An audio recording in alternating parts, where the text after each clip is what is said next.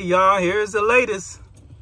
Cut the key on. I know it looks kind of dirty here. Doesn't even do the diagnostic check. Gets nothing. But it will crank. It just won't start. It should have fuel. Should have plenty of fuel. Now,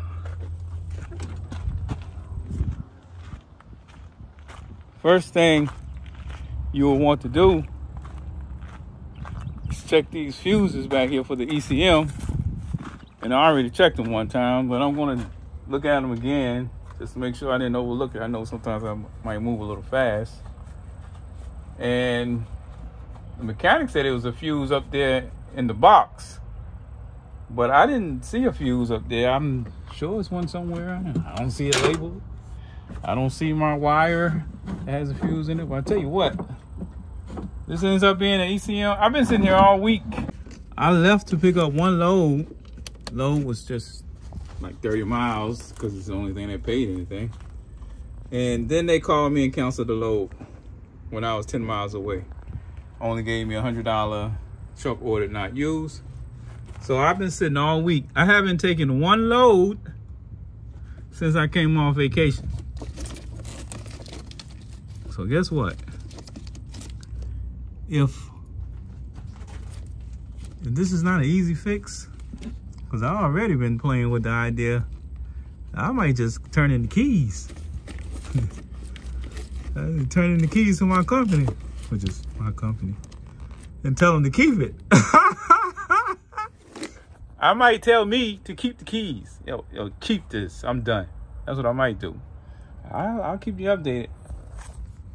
And I'm going I am going to go ahead and take these loose and clean it real good because I'm assuming I'm assuming that this is the power to the ECM. And I'm going to try that. Mechanic's supposed to come tomorrow and take a look at it. Tomorrow's Sunday. And yeah, one thing we'll see what happens. I remember though is actually I was having a problem when I first came back the battery was dead and the truck would just crank. Oh, when I, when I put the battery in,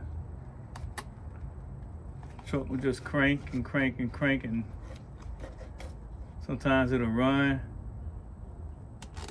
and just shut off on its own. And did that several times. And then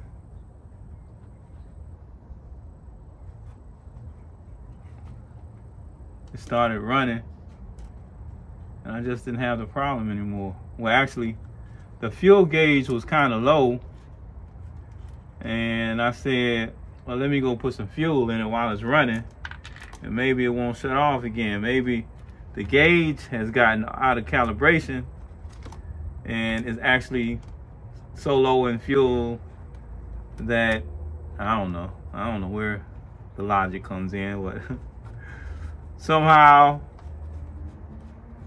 it's picking up fuel for a little while and then it runs completely out and it stops.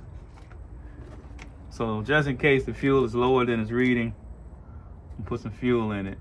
And actually, after I put fuel in it and I had it sitting there, I pulled up, and when I came back out, it was it had stopped. But it started right back up and I didn't have another issue with it. So that actually was bizarre, but this is the first time something happened since then. And I guess it could be related and that could mean that there's a issue with the connection. Because maybe something happened and jarred the wire.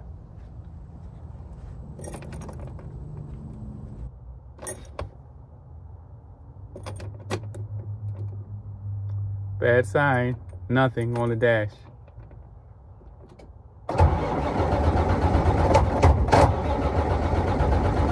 That was me. We'll see. Anybody got any ideas, let me know. You ever had this problem?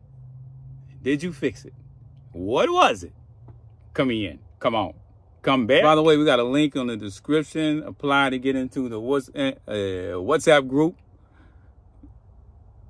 That's where I'm going to be uh, putting out different information that I'm not going to put out anywhere else. More contained, you know.